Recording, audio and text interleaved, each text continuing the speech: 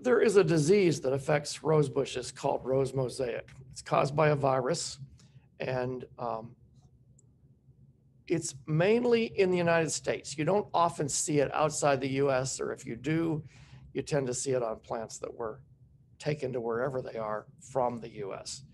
And the reason it's it's almost uniquely a problem here is the way we have traditionally propagated our roses in nurseries as opposed to the way the rest of the world has done it. It was estimated back in the 1970s that probably more than 90% of all the rose bushes in the US had this disease. Um, there have been nurseries over the last 50 years that have really worked at getting rid of it, as well as several university research programs, and I'm happy to say we've been a part of that. It's still a very common problem, even with new varieties, but uh, my estimate, and this, I don't have a good, good, uh, any good real proof of this number, but if I had to guess just from what I see out in retail nurseries, maybe 20% of the roses for sale right now have this disease. That's still a, a big rate of infection. We'd like to get it a lot lower than that, but it's a great improvement over 90%. It is a virus disease, but just like the common cold or flu, it's not caused by just one virus. It's a series or a collection of symptoms that several different variety, several different viruses can cause. So the first one of these is Prunus necrotic ring spot virus. That's way too much to say or spell. And so we always just abbreviate that PNRSV. Um, it is by far the most common one. When we test roses for what virus is in them, I would say we come up with this one more than 90% of the time. There's another one. Oh, and I should say Prunus is the Latin name, the genus of fruit trees that have a pit for their seeds. So peaches, plums, cherries, apricots, those are all in the plant genus Prunus. And then necrotic is an old fashioned word that means dead or dying. Back in the day in the newspaper, instead of having the obituary section, they had the necrology session section. And then a ring spot uh, is, is on a leaf on a peach tree if it has this disease. It develops ring shaped spots on the leaves, and then that ring dies. So on a peach, you get necrotic ring spots on the leaf. It doesn't do that on a rose, but that's how the virus got named. And then there's apple mosaic, which, as its name implies, is a natural disease of apple trees. It's much more rare in roses. It, you do see it on, on occasion, but it causes much more severe symptoms. And I think that's probably why it's rare on roses. It is so ugly and it's so difficult to grow a plant with it that the nurseries never get it up to a size and of a quality that they would actually want to sell to you at a Lowe's or a Home Depot. And so it's kind of rare. And then the third one is Arabis mosaic. This is a virus that is native on a little weed in the genus Arabis in Northern Europe. Uh, we don't have that weed as far as I know in the US. We also don't believe we have the virus uh, in it in the US. So in European rose gardens and in rose gardens in other parts of the world, you might see mosaic symptoms on a rose bush. And there's one of two problems there, one of two possibilities. Either it has Arabis mosaic, or much more likely, they may have imported uh, the variety from the US. In which case, it's one of those other, those first two viruses. Well, the symptoms, um, the, the main symptom is known as a mosaic. It's a yellow or white patchy area on the leaf. I'm going to show you pictures of these in just a couple minutes. Um, it, it kind of reminds me of a stained glass window. Um, and there's a line pattern where you have yellow or, or sometimes white zigzaggy lines on a leaf, and the zigs and zags change direction uh, when it crosses a vein. There's the watermark symptom, which is just like the line pattern, but it's very faint. It's, it's one shade of green on a background of a different shade of green, but it's still little swirly lines. You can get vein banding, which is yellow or orange veins on an otherwise green leaf. So this is typical mosaic. In some cases, it's just kind of patchy all over the leaf. In some cases, it may very closely follow a vein as a border. Um, I can't tell you why it will choose to do one or the other. Obviously, it can do both on the same leaf. This is also typical mosaic. This is the zigzag line pattern, and you can see how the points of the zigzags are on veins. And then this is a ring spot. So if this was on a peach tree, that area would die. On a rose, it won't. It'll just stay as a yellow ring. This is an unusually brilliant line pattern. Back ancient years ago, when I was an undergraduate college student, they Disney had just opened Epcot. And so spring break, my family went to see this new park called Epcot. And I remember in front of the USA Pavilion, they had planted a gigantic bed of Mr. Lincoln roses, which is a dark red rose. We grow it. It's in the center of the Jenkins Rose Garden over here on campus. And the leaves looked like this. They had these yellow stripes all over them. And as an undergraduate college student, I had no real horticultural training. I had no interest, no interest in or background in plant pathology at all. And so I didn't realize this was a disease. I just remember um, they had really pretty leaves, and I wondered how they ever got a rose to do that. How would you make it, make a pattern like that on the leaves? And um, just kind of kept that in the back of my mind then for years. And when I finally started working with rose mosaic, it hit me. Those plants were all diseased. Nobody did that on purpose. And sure enough, that's what was going on. Those roses are no longer there. They removed them soon after that, probably because they ended up dying with the disease. This is vein banding where you have the lighter colored vein on an otherwise darker green leaf. Much less common, but you do see it now and then. And then just some various patterns that we've seen on roses.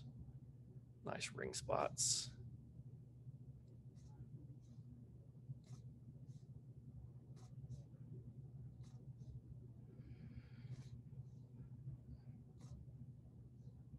This is on a rose at the Royal Botanic Garden at Kew, which is just outside London, England. And as I was just saying, it's kind of unusual to see mosaic outside the US. So I got down under the plant, looked for the tag, and sure enough, it was an American variety that had been imported from an American nursery. So we sent them the disease, sorry to say.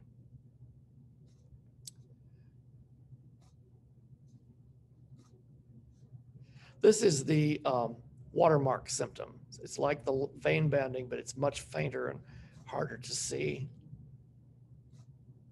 There's a really faint watermark, but that's definitely viral.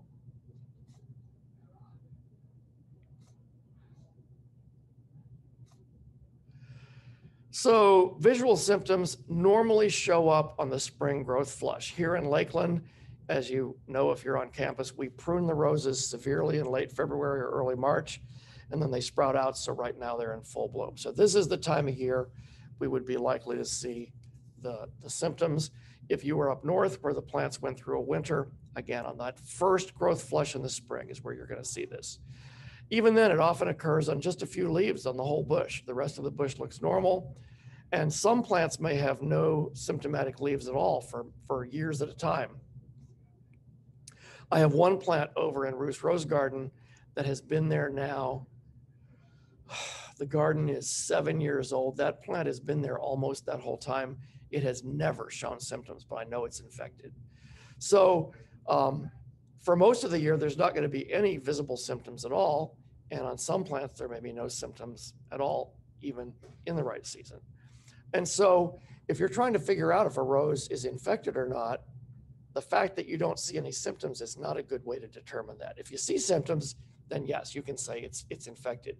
But the fact that it doesn't look infected doesn't mean that it's not. It can be asymptomatic for a long time. Well, if that's the case, if it just affects a few leaves, making them pretty color patterns for part of the year, why would we care? Unfortunately, that's not all it does to the bush. It also reduces the bush vigor. It doesn't grow as fast as it would have otherwise. It produces fewer flowers on shorter stems. I don't have it as a bullet point here, but the flowers will also, on average, be smaller. Well, the reason you grow a rose bush is you want big, nice flowers on long stems on a healthy bush. It's working against you on all of those counts. If you're up north, the plant will be less cold hardy. It's much more likely to be injured or even killed by, by uh, cold in the winter. We don't worry about that here, but that's very important in places with a real winter. Uh, in the nursery, they're much more difficult to graft successfully. Your graftage success rate will be substantially lower with infected plants. And even the ones, the grafts that take, it's much more difficult to produce a quality plant and get it ready for sale at retail. So you'll end up not making as many plants per year that your nursery can sell. That raises your production costs. And then in the garden, the plants don't live as long as a healthy plant would. We figure four or five years in most cases uh, here. Uh, as I say, I've got one up in Ruth's Rose Garden that's going on seven years, but it's also not very healthy at this point. It's not showing virus symptoms, it's just not very healthy. I try in this class to base what we say on good scientific evidence or data and to tell you if I'm not doing that. And so this what this slide is about an area that is really not supported by hard data-based evidence. Nevertheless, it's something that I do believe based on anecdotal evidence. There is an idea that roses over time well, I should start out by saying, obviously, you and I and our dogs and cats and other mammals go through a life cycle where we eventually get old and eventually we die.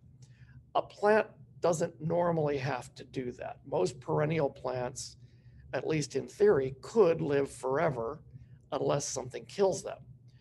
And so, and in, and in rose bushes, we grow a rose up in Ruth's Rose Garden called Autumn Damask that we know that Virgil the poet wrote about in the year 14 BC.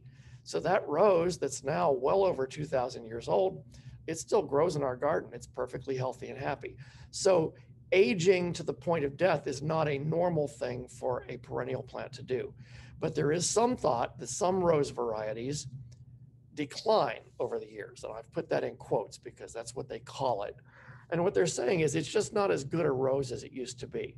And so my example here is peace. Peace was uh, um, introduced in 1945 after World War II, uh, and they invented the United Nations. And before the United States, United Nations moved to New York City, it first met in San Francisco in 1945. And on the day all those delegates came for their first meeting, uh, they put a bud of this rose on every delegate's desk and they named it peace. Well, because of the symbolism of that post war, um, it became the world's most popular rose. And, and to this point in history, um, there have been well over 200 million of them grafted and marketed around the world.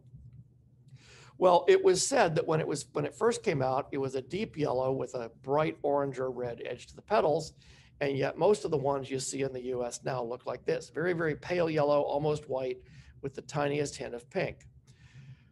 Well, when I got a plant like this, it had rose mosaic virus. And so I put it through my heat therapy program to cure it, as I do with other roses. I'm going to talk to you about that in a few minutes. And look what came out. It's the old fashioned original Peace that is not declined anymore. So, what does that mean? Does it mean that rose mosaic virus was the cause of decline? I don't know that. Could it be some other virus that my heat therapy program happened to cure? Could it be an epigenetic effect? That's where, where you, you don't have a virus there or anything, but there are certain factors in the cell that turn certain genes on and off at certain times in a life cycle. And maybe we've switched those back to the younger uh, form. We don't know. What we do know is that if I heat treat a so-called declined rose, I can make it better, regardless of its disease set, uh, status. So that's kind of cool. so that part we've demonstrated. What we don't know is what is this thing we call decline? What causes it? Um, we really don't know that. So that may have nothing to do with rose mosaic, but it's a nice little side effect that we discovered from our, our program. So these viruses have existed for thousands, perhaps millions of years on their wild, their wild host type plants, which are either in the genus Prunus, these cherries, plums, peaches, or in the genus Pyrus, which would be apples and pears. And in those plants where the virus is native, it is spread by the bees in pollen. So if, a, if pollen is taken from an infected tree, and put on the flower of an uninfected tree. Not always, but sometimes the virus will spread into that second tree.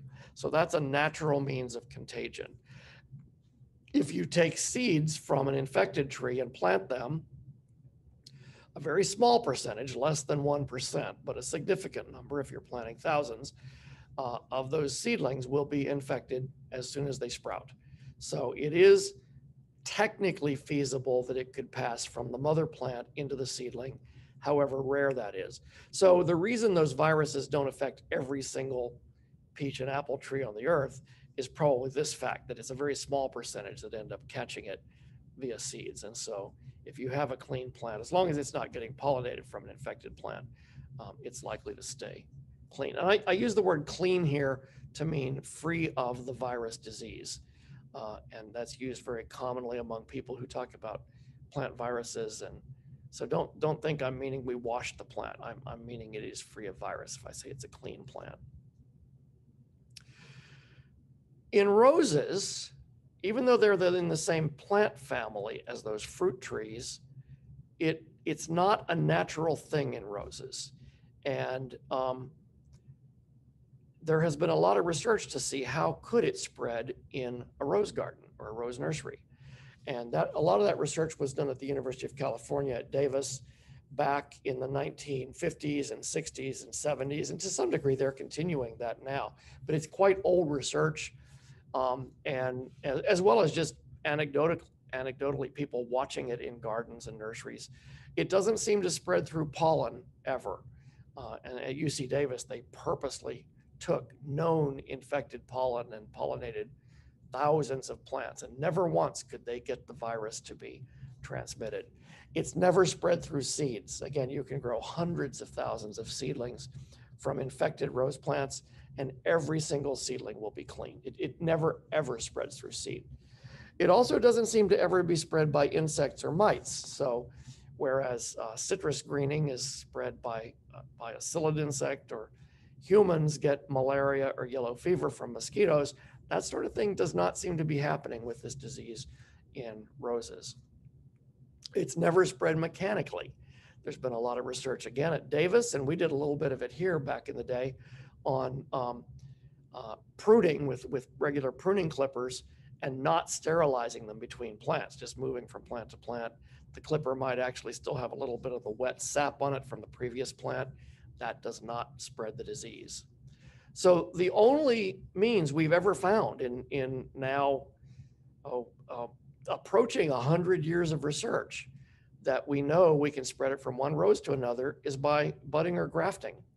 Um, it, it simply doesn't happen any other time or place. And so the only natural spread we've seen in the field was in a research plot at the University of California, Davis, where they planted their, their plants six inches apart, whereas in a garden, you'd put them several feet apart. And in that trial, they did see it moving from plant to plant. Well, when they dug up the plants, what they found was when you plant them that close together, the rootstock they were using makes natural root grafts between plants. So again, it was passing through a graft union. It was not being spread by any other means. And when you plant them as far apart as you do in a garden, we don't have a we have no recorded cases of roses making root grafts. They have to be really, really close together to do that. So from a practical standpoint, we don't think it ever spreads in a rose garden, and it would never spread in a normal commercial type nursery. You have to plant them too close together to make that happen. So if it only spreads by grafting and it's not inherently in roses, the question comes up, how did the first rose get it? It had to get into roses at some point by some means. And the correct scientist answer to that is, we don't know.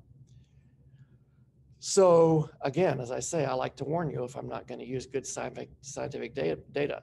The story I'm about to tell you, I am making up. It is not documented as being true. It is a made up story, but it is how we think. Certainly, this is the way the virus could have got into roses. It's the way we think it probably did, but we do not have evidence that this is what happened. We don't have a better answer, though. So, this is what we think probably happened. First off, we know that the first clear record of this disease in roses occurred in California in the 1920s on plants that were grafted to the rootstock called Dr. Huey. This is Dr. Huey here. Some of you who are from north of here, uh, uh, if you go home for the summer, notice that in June, lots of people have rose bushes in their yards. And the older lawns with the older rose bushes, about half of them are going to be this rose. Those people didn't plant that rose on purpose. What they did was they planted a virus infected grafted rose on Dr. Huey. It died of winter cold injury and the rootstock sprouted up from underground. So now they've got all these dark red roses all over the place. And when I travel in Pennsylvania or New Jersey or New York or, or Massachusetts, they're everywhere. Uh, it, it, it's funny. You can go through a neighborhood and almost half the houses will have a Dr. Huey plant, and they don't know why it was there. But anyway, they, they were using Dr. Huey as a rootstock in California. The thing that makes this different from European nurseries or older nurseries in the eastern US is the Californians were the first ones to use this particular rootstock and they propagated it by cuttings, not by seed. The traditional way of producing rose rootstocks was always from seed. And as I said on the previous slide, this virus does not spread through seeds. So as long as the nursery starts with new seedlings as their rootstocks in each generation, they never infect their plants. So now we've got a situation. The plants are still not infected, but um, the potential is there that if we get it into the Dr. Huey rootstock, then it could enter the various grafted scion varieties. So here's where we start making up our story. Somebody may have recognized that roses are in the same family as a lot of these fruit crops, peaches, apples, plums.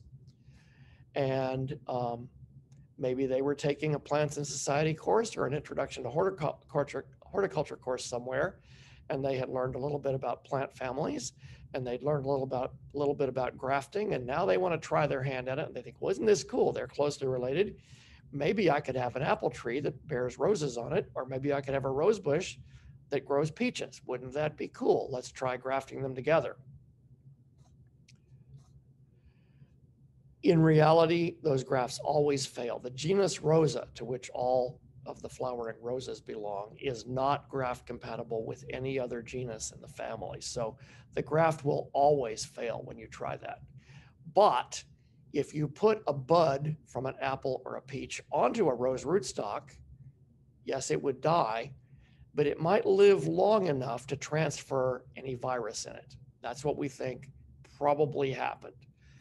And so uh, at that point, we have a failed peach tree or apple tree on a rose rootstock. The scion died, but now we have a rose rootstock that's infected. We're assuming then, and again, I'm making this up, that the grower, rather than in disgust throwing that now dead grafted plant out, because the rootstock was still alive, they saved it and budded a rose back onto it. So now we have a rose grafted onto a rose rootstock, which has the virus. And the virus is going to move up into the top of the plant. And at that point, we have the first grafted rose bush with this disease. The next assumption we have to make is that maybe this person was an amateur rose breeder and developed a new variety and they gave it or sold it to a nursery to propagate because it has to have entered a commercial nursery at that point. We think this part up here was probably not done by a commercial nursery because they would know better than to graft peaches onto roses. They would realize that doesn't work. So it almost has to be a hobbyist grower that, that put it into the rose, but then it has to enter a commercial nursery field. Now, in California nursery tradition, unlike European nurseries or Eastern US nurseries, they are using this Dr. Huey and they take hardwood cuttings. Remember, those are the leafless stick cuttings that you don't have to put in mist. And they put those out just in an open field in autumn. The big production area for these is in the uh, Wasco and Ontario, California area. That's that's east of Los Angeles, and they produce millions and millions of roses there. They they stick these hardwood cuttings in the autumn, and they make roots over the winter, and then the next spring they bud those plants in the field, and then that autumn they cut the rootstock tops off so that only the scion bud is there, so it'll grow the next spring, and those rootstock tops that they cut off they make cuttings of for the following year's crop. So here's my one infected plant that I have in this field now. We're going to take cuttings off the top of that for to make next year's crop. So here's a really old black and white picture of how they stick the cuttings, and then here's a more modern picture. So these are rose cuttings in the field, rooting to make rootstocks.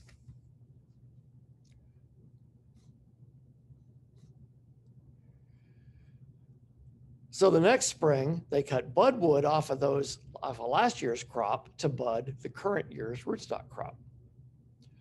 So assuming that we have an industry that's making countlessly many thousands or even millions of plants per year, and assuming that this only entered that that industry via one plant, I was interested in seeing how quickly would it spread. So I went over to Dr. Serrano in the math department, my favorite statistician. Some of you know Dr. Serrano. Um, and, and I said, I have a little math problem for you here. Let's assume that I have a field with 100,000 cuttings and I'm going to bud them and I'm going to put in just one bud from my original infected plant. And then that fall, I'm going to cut five rootstock cuttings off of the top of that for next year and randomly mix them into next year's 100,000 total cuttings. And then the following spring, I'm going to cut five scions from that plant and bud them to five random rootstocks in that new field of 100,000. How long would it be until the, most of the field is infected? And she did a little bit of work on her scratch paper and she said within five years, you would be above 95% infection rate in that whole field. It, it spreads at an amazing rate, even if you're not making very many plants from those original plants. And, and that's what happened. So um, if the virus is present in a scion, it moves down into the rootstock. Once it's in the rootstock, any cuttings taken there will be infected. And then when you bud them with a new uninfected variety, it moves up into that variety. And they infected the entire California industry. So we know that part happened. Now we're back on historically documented truth. The question is, how did that first infected rose get there? That's the part that is is uh, an assumption, not not known history. So what should they do? And what are those nurseries today doing that don't have the problem? They should maintain what are known as mother blocks, where they have healthy rootstock plants that they never graft anything onto. They only take cuttings. They should also have healthy grafted plants of their scion varieties, that is the varieties they want to grow, that again, they will never graft back onto. And they always collect their grafting wood as well as their rootstock cuttings from that same field over and over.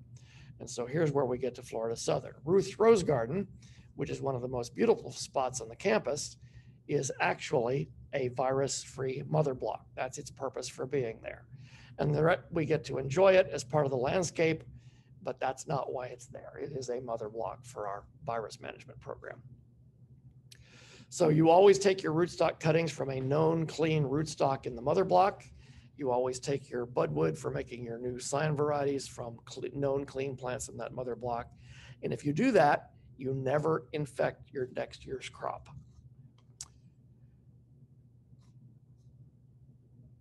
So that's how nurseries today that are very concerned with selling a clean crop are able to do so. And as I said, we're probably still about 20% infected in the US. That mainly comes from nurseries who don't care to maintain that mother block. And, and the big argument they have against it is that that's land that they will never sell a rose off of, that they're, they're, they, they say it's an economic thing. They can't afford to um, uh, invest that much in a piece of land that's not productive. And yet, if you look at the reduced grafting success rate for infected plants and the reduced percentage of those plants that are sellable the people who do believe in it, in it and use it and say that was the best investment we ever made. We're making more money by producing more good plants on the smaller amount of land while we maintain a mother block. So in order for these nurseries to grow clean stuff, where are they going to get known clean plants? In some cases, you can simply test until you find a plant that is not yet infected and use that then as your source of, of scions. But there are some rose varieties, in fact, there are a lot of rose varieties where we're not aware of a single clean plant anywhere on the earth. They're all infected. And so in that case, how are we going to cure them? Well, in your garden, there's really nothing practical you can do to cure them. But in a laboratory situation, we can. And that's what I do here at Florida Southern. So I want to kind of talk us through that process. It's known as heat therapy. It was originally done at the University of California at Davis, which is their big agriculture school, just as UF is here in Florida.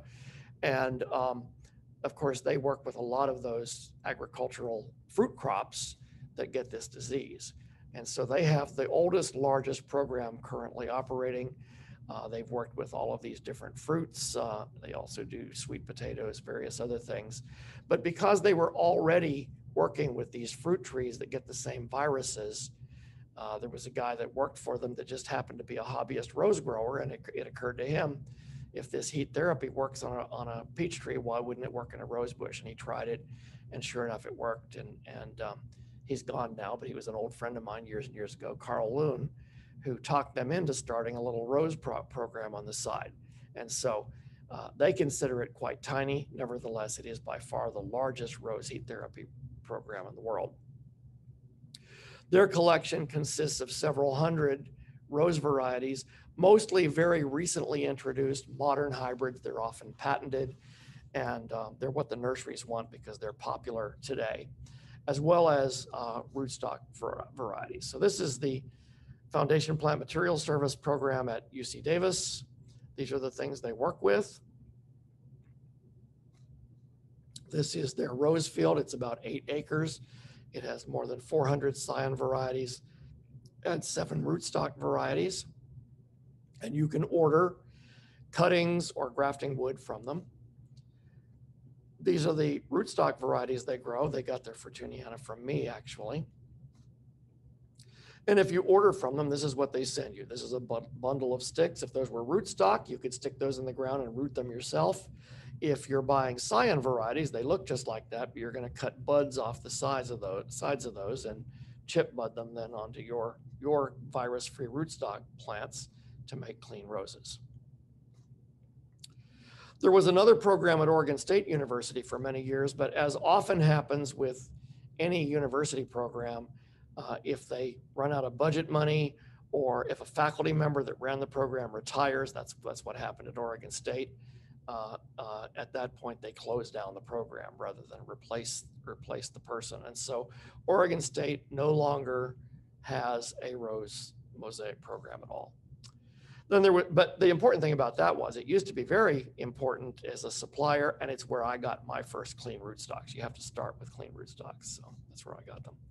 Bear Creek then is a private corporation. They used to own Jackson Perkins and Armstrong Roses. Those were the two largest rose nurseries in the world, which together accounted for about 10 million plants per year, almost all produced in California. Um, they no longer own those companies. Bear Creek is still around, but they don't they don't deal in roses anymore. Jackson and Perkins is still around under different ownership, but um, this was a private program. They cleaned up their own varieties, but nobody else's, and they're no longer in the business of heat treating roses. Then there's us. Uh, I started the program in 1983, shortly after I came to Florida Southern. I've always specialized in older varieties, some of which we would consider antique or heirloom or heritage varieties. Uh, they're things that have been around for a very long time and have a lot of important genetics for breeding work, but they're not as popular today. Over those years, we have cured or certified more than 300 varieties. Cured means they had the disease and we removed it from them. Certified means we got a plant that we didn't know for sure if it was infected or not. So we tested it and it turned out not to be infected. So we didn't have to cure it. Just as if you go for a COVID test and it comes back negative, you're, you're good to go. That's kind of that situation. So of these 300, I haven't kept track of the exact numbers, but I'd say we've probably cured, I'm going to guess 50 or 60, and then the rest of them, the great majority of them, we've just certified. We supply more than 20 nurseries throughout the US, as well as Bermuda, the UK, Brazil, Colombia, Canada, and South Africa. Um, I've also had people take budwood to Europe. I don't know where it's being grown or by whom or how. I didn't ship it there, but um, we've become kind of known throughout the world. If you want some of these clean varieties, you need to buy them from Florida Southern. We're the only known clean source of a lot of those varieties in the world. So just a picture to rest your eyes from all the research. This is the Jenkins garden back in the day when we had pink roses there in addition to red and white. It's all red and white now. So if we have to cure a rose, what are we going to do to it? We do this thing we call heat therapy. We start out by getting a fairly large plant, the size you might buy at a Lowe's or a Home Depot uh, in a two or three gallon pot. That's a nice big rose bush. I'm going to stress this plant to the potential of almost killing it. And so I want to toughen it up ahead of time. And as I think we may have talked about on Tissue Culture Day or some other day when we talked about plant hormones, I'm not sure if we did that in this class or not. There's a hormone called abscisic acid, which is considered the stress hormone. And a plant produces it if it's under severe stress, and it helps it survive. And so I want the plant to make lots of abscisic acid. So I'm going to purposely let it get too dry. I'm going to let it wilt between waterings. That's a really bad thing to do to a rose bush, but I'm going to do that on purpose. I'm going to not fertilize it for months. I want it to become really nutrient deficient. If the leaves are bright yellow, I like that. I want it hungry. And I'm going to grow it in the hottest greenhouse we've got. I want to almost, but not quite kill it because if, if it's and what that's doing, it's toughening it, toughening it up because it doesn't know what it's about to be hit with. I'm going to give it a, a torture that would normally kill a regular rose bush.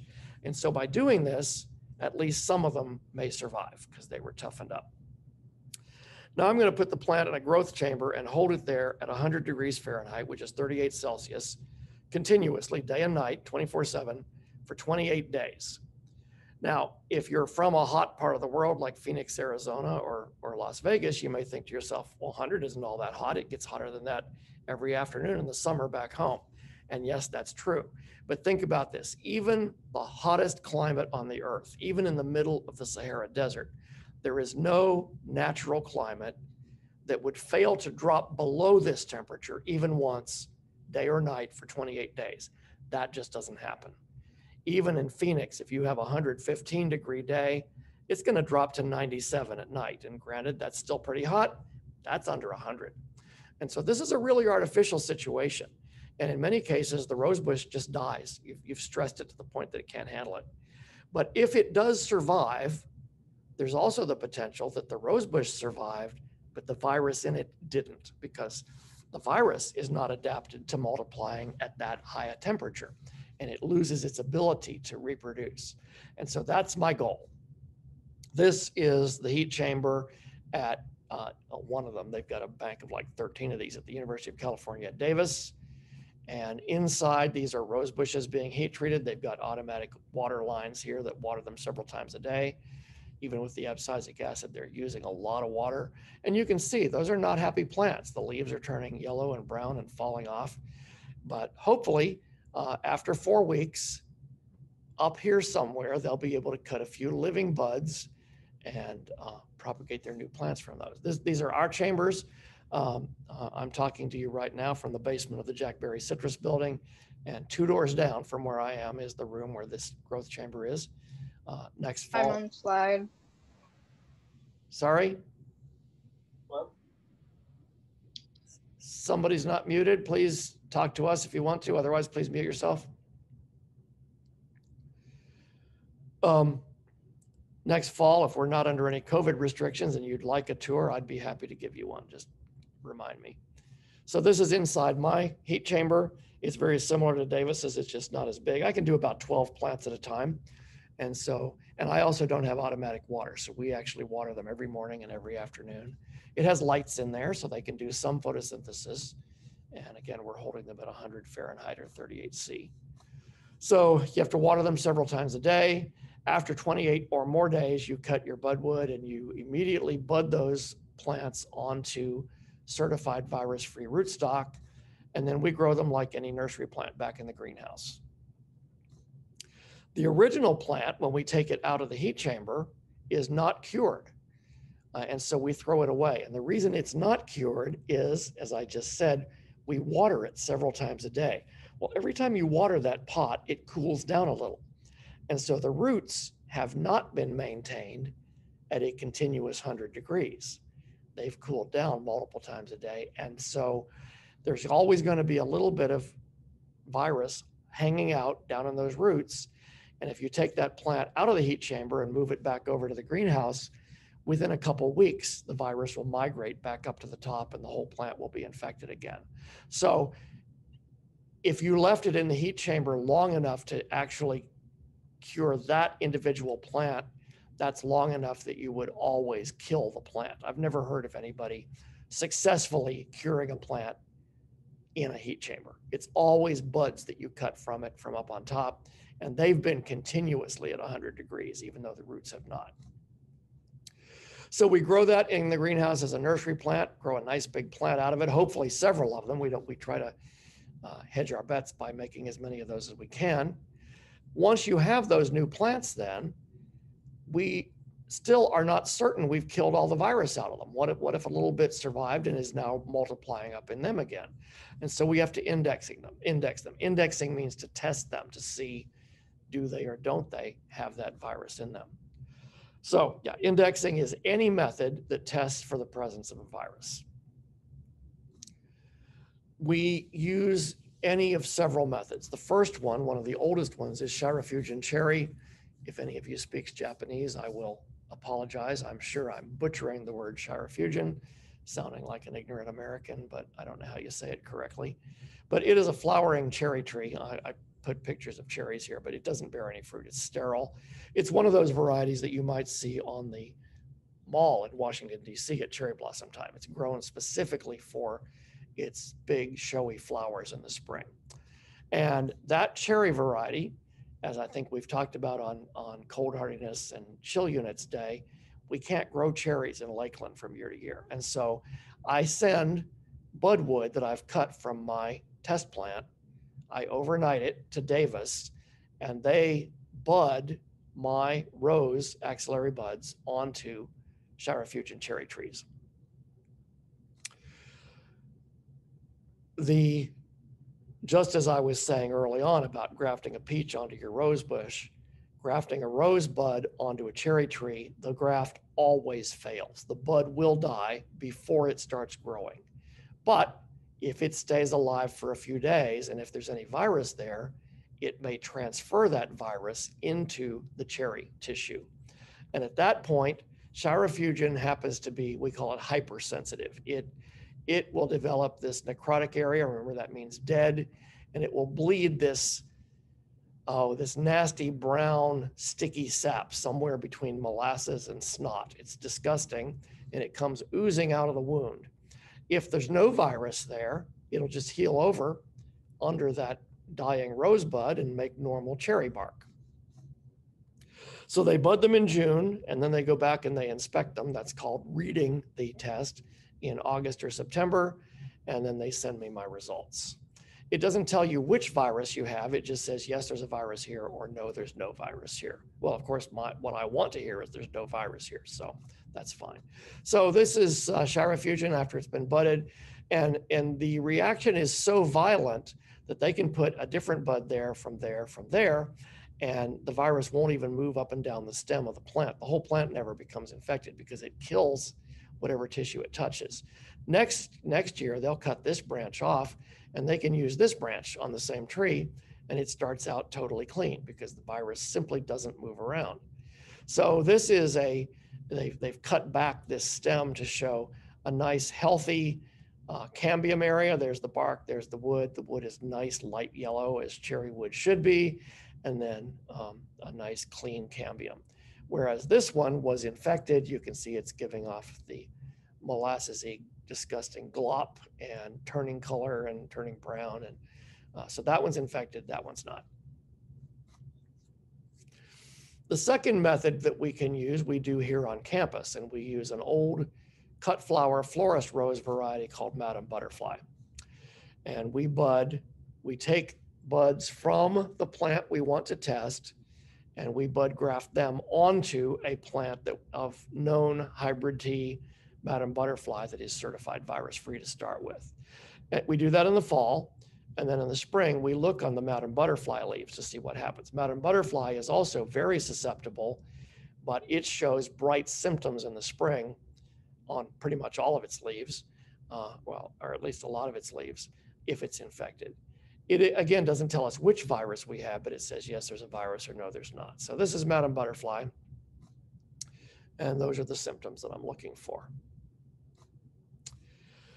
The third method we use is known as ELISA, and we we contract with Washington State University to do this one. They have a very big ELISA lab, and they can do it cheaper than I could ever set up a lab, and I don't want to do that anyway. ELISA stands for enzyme-linked immunosorbent assay, um, and so they just use the letters to make the acronym ELISA. Uh, this one uses uh, animals, usually a rabbit, and so somebody somewhere had to start out making Antisera. That's not me. It's not the people at Washington State. It's somebody else. The big company that does that in the US is uh, Agdia Inc., which is in Elkhart, Indiana, and they make ELISA tests for a lot of things. ELISA is used in human medicine all also. If you ever take a home pre- pregnancy test, or if you get an HIV test that they can tell you your results in less than half an hour, or uh, oh, a bunch of other medical tests are done by ELISA. I, have wondered if if it may be being used in in um, COVID testing, and I'm not sure of that. I need to look into that. But in any case, it's a very commonly used method. So that company that's making the Antisera has to start out with a sample of the virus that they're going to want to test. And so they may have a peach tree or an apple tree that they know is infected. They're going to collect tissue off of that plant and they're going to grind it up and go through a big extraction and purification process until they have virtually pure virus particles. And then they're going to inject that virus into an animal. As I say, it's most often a rabbit. Um, uh, there are reasons you would use rabbits as opposed to something else.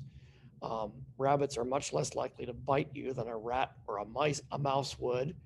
Uh, they're much larger, so they have a much higher blood volume and they tend to be friendly. They also live longer than a rat or a mouse would. So one, one rabbit can continue to produce antibodies for years and years.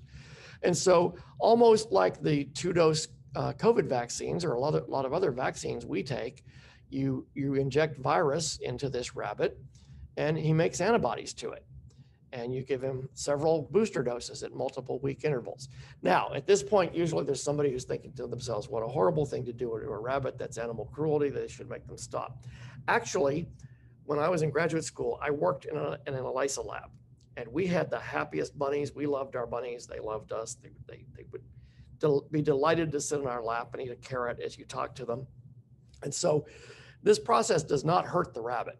Uh, one of the nice things about a rabbit, besides the fact that they're big and, and calm and like to sit in your lap, is that on the back side of a rabbit's ears, very much like a human bodybuilder, they develop these really prominent veins. And if you're a good phlebotomist, that's the person who takes blood samples, you can put a blood sampling needle into one of those veins and the rabbit doesn't even feel it. He has no idea that you're doing that. You're not going to take enough blood to hurt the rabbit. You're just taking a little sample. And so that's what they do while your bunny is happily sitting in your lap eating his carrot. And so you collect a little bit of rabbit blood and then you purify antibodies out of that. And, and they, they package up those antibodies, they, they uh, ship them frozen. And so the ELISA lab at Washington State or any other ELISA lab anywhere is receiving the, these antibodies in the form of antisera. They're in a, they're in a frozen um, it was you know, water-based liquid, but they freeze it. And so now that's ready for the ELISA test. So I don't deal with any of this, and the ELISA lab in Washington State doesn't deal with any of this. They buy vials of antiserum. And you can store those for long periods of time. And one rabbit will make enough antisera to test hundreds of thousands of roses. It's, it's uh, amazing how little it takes to run a test. Once you have that, now we're ready to test our heat treated roses. So the people at, at Prosser Washington have bought antiserum and I send them leaves from my plant I want to have tested. And they go through the same process of purifying the virus. They grind up the leaves and extract it and purify the virus. Now, I'm hoping there's no virus there. Nobody knows that at this point. But this extraction and purification process, if there is virus there, they'll end up with pure virus. If there's not, they'll end up with nothing. But because viruses are too small to see, even with a microscope, they won't know that till they've done this test. So it's a lab procedure. I, I'm not going to get into the details of how it's done, but they end up, you have this solution, then you put a couple solutions onto a plate, and then you watch it and see if it changes color. And uh, if it changes, it'll turn yellow. If the virus is present, it'll stay clear if the virus is not present. So um, the lab test is specific to a virus species, so you can test for PNRSV versus apple mosaic differently. I, I've got this labeled this way, but now that I look at it, both of these pictures are identical, so I'm not sure which one this actually is. But this is a sample plate.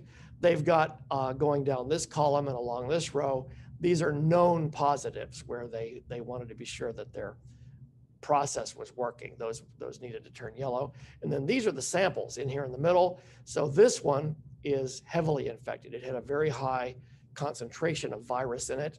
This one had a lot less, but it's also infected, whereas this one is not infected. And so uh, they run that test and then they send me their results. The advantages is it's quick. Once you have that antiserum, one worker can test at least 200 samples in an eight hour day and they get their results immediately. Relatively cheap, as I, as I say, I hire them to do it because that's cheaper than building a lab. We, we send them, it's less than $20 a sample. It's highly accurate, hardly ever misdiagnosis. There are lots of ELISA labs around. The reason I use the one at Washington State is their reputation is so good. And, and in years and years of them running it, I've never had to make a mistake it differentiates which, which virus you've got, not only whether you have a virus. But the downside is it only works if the concentration of the virus is fairly high. Uh, that's known as the virus titer. And so in the case of rose mosaic, that means it has to have been produced in cool weather. So from about now on, now that we're starting to get hot weather in Lakeland, I won't send them any tests until next winter. Winter and early spring are the good times to send them samples for testing. The last method that we've been using for the last two years is PCR, which stands for polymerase chain reaction. That is one of the methods that's being used for uh, COVID tests. It's also used in almost anything that we would call DNA testing, whether that's for medicine, for criminology, whatever. It's it's a lot, got a lot of wide wide uses, and it can identify specific regions of DNA. And virus DNA has unique regions on it that you can find that are different from what the plant would have very accurate. It's at least as accurate as ELISA. And in hot weather, it's more accurate because it will measure much lower titers, that is lower virus concentration.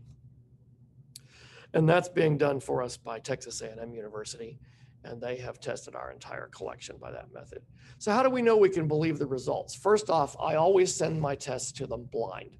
I send a whole box full of little baggies uh, with leaves in them and all they have on the surface of the baggie is a code number. So they don't know which plants are in which bag. They don't know whether I think they're infected or not. And in among those, I purposely secretly include a few that I know are certified clean, as well as a few that I know are infected. And when they send me their results back, they have to get all of those known con- those controls known to me but blind to them. They have to get those all right before I'll believe their results on my unknown samples. And um, they're very good at doing that. In more than 30 years, I've never had a rose that once certified clean has ever gone back to being positive. Uh, the last time we sent things to Texas A&M for PCR, I had some things that last year tested positive that this year test negative. So they're working on their protocols. They think there's something wrong with the way they're doing their test. That doesn't say that my roses do or don't have the virus though. So, and the methods always agree, other than that one glitch in this last test with, with Texas A&M. If one method says a plant's infected, they all do. If one method says it's clean, they all do. So that's, that's nice. Once I have a plant certified clean, I propagate disease-free plants. I put at least one out in the garden to serve as a stock plant. And then we provide certified budwood or cuttings or plants to the nursery industry as they order them they pay for them, and so we're not using any Florida Southern tuition funds for this program. I donate my own time, but otherwise they pay the expenses plus a little more. We end up with more money coming in than we're putting out for the uh, program. So it's a nice program. There's one last little thing I'd like to talk about before we quit, and that's rose rosette virus. This is a totally different disease, totally unrelated to rose mosaic, but because among rose growers, they'll say a plant has virus, that's unfortunate because there's more than one virus. This disease is relatively new, just in the last 20 years in the US, and it's always fatal without exception. It's spread by mites, so it is contagious in your garden. So those two things together make it really scary. We don't believe we have it in Florida at the moment. It has been found in a couple nursery shipments that came into the state. They burned those shipments. So again, and still, we believe we are without the disease. We're also without the mite, and we hope not to ever get that mite established in the state. But it's a, it's one of those very iffy things. You just hope it won't come here. And so we need to be super careful about bringing in contaminated roses. I have a friend here in town who called me up a, a year or so ago and was talking about this wonderful rose that she took a cutting of from her aunt and could I tell her how to root it and grow it in her garden? I said, Oh, yeah, where does your aunt live? And she said, Eastern Tennessee. Well, I knew that's the hot spot for this disease. And I said, I hate to tell you this, but you need to burn those cuttings right now or seal them up in a black plastic trash bag and send them off to the landfill. We do not want that disease or those mites in Lakeland. And she did so. She was unhappy about it, but she understood that it could ruin all the roses in town, including her own. The other scary thing is we don't know of any way to cure it. So this is the disease. It's pretty obvious if you ever see a rose bush doing this. Uh, if it's yours, burn it or bury it or send it off the landfill. If you see it on somebody else's property, try to tell them about it because uh, it is highly contagious. But you get these unusually red growths. Those are leaves. They're they're thin like ribbons, so they're really weird looking. Uh, it may also make way, way, way too many thorns. They're, they're so packed in so tightly that you can hardly fit them all. Now, a lot of roses make kind of a coppery purple new leaf, but they wouldn't be showing the, the, uh, the, the thorniness.